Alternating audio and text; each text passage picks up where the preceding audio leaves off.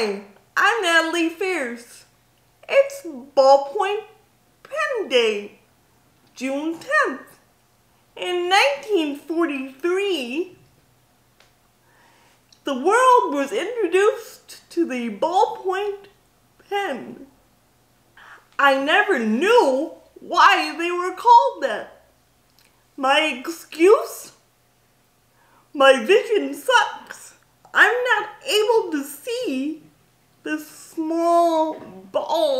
On the end of the pen.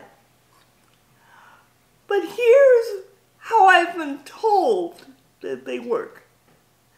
There's a small ball on the end of the pen that rolls around when you write.